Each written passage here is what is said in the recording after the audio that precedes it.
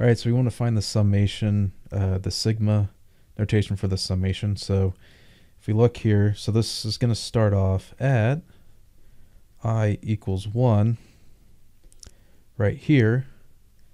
And on the bottom here, we get to 100. So it's kind of clues there. If we look here, it's going to be like a 1 over i, but not quite because it alternates between a negative and a positive. So we have to think about this. So it's going to be multiplied by something. So in this case, it looks like we're going to have like a negative 1.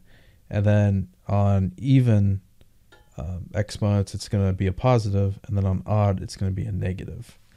So we can think here. Um, what would be like i minus 1?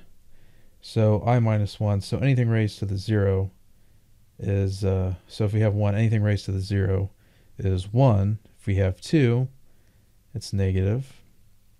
If we have 3, it's positive. So in this instance, we have, so we're going to have negative 1 raised to i minus 1 over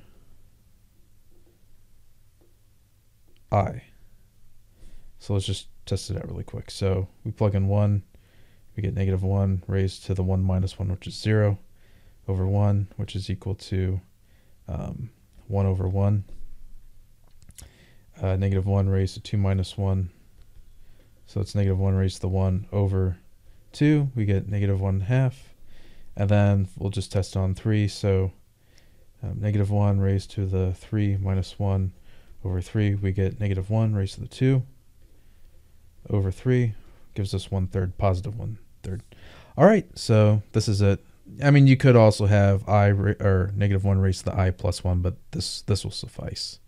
All right, hope this helps. Thanks for watching. Have a great day.